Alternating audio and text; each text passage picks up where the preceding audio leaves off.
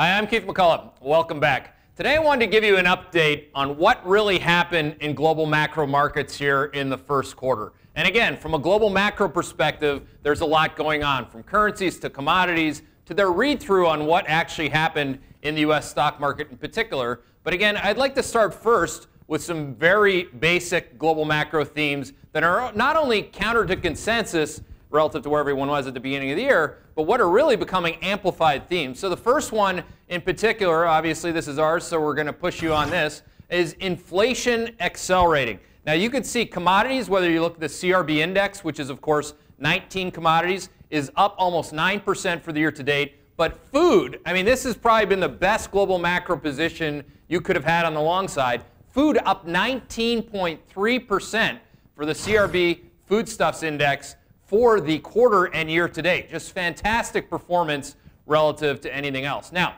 the second thing that happens, of course, when you get inflation, and again, I say of course because this is what happens in our model or in reality, inflation accelerates and consumption and or real growth slows. So growth slowing, you can see that what we'll show you here is the 10-year bond yield. So obviously the 10-year bond yield is down a full 30 basis points for the year to date. Consensus continues to say what happened actually last year, which was our call last year, rates rising. It's not rates rising, rates are falling. To be clear, when growth slows, the bond market sees that, and as the bond market sees that, interest rates go lower. Now, the final point that I'd make, which is the least obvious, uh, the U.S. stock market. You know, everyone's talking about how rosy this thing is, but at, from a year-to-date perspective, uh, the Dow's down, the S&P 500 is up like a half a percent.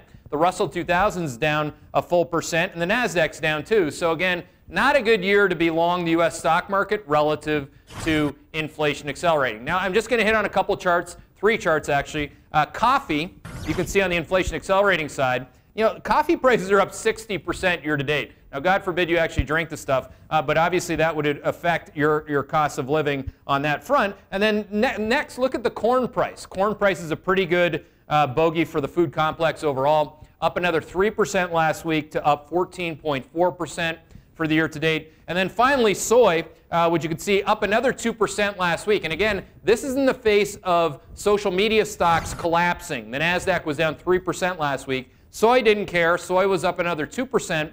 Inflation accelerates on that front to up 12.5% for the year to date. Now, finally, we want to give you a read through on what this means for the stock market. So, again, follow the bouncing ball the dollar goes down, inflation accelerates, and consumption growth slows. So from a sector perspective, if we're just to take the S&P's components and look at it from a sector perspective, you can see huge sector variance are all of a sudden uh, developing here in the first quarter. Now, what we're showing here now is the consumer.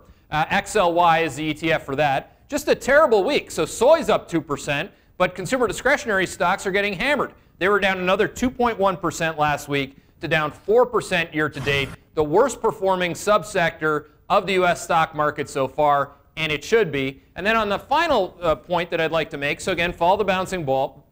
Inflation accelerates, growth slows, people have to chase yield. So again, yield chasing, you can be long REITs, you can't eat a REIT, but you could also be long utilities, which we could show you here. Up last week, again, in a down U.S. stock market, the utilities index up 1.2%, to up 8% for the year to date. It acts just as growth slows does, which is explicit. So again, what's happening, what's really happening out there is pretty obvious to us. You just have to look underneath the hood.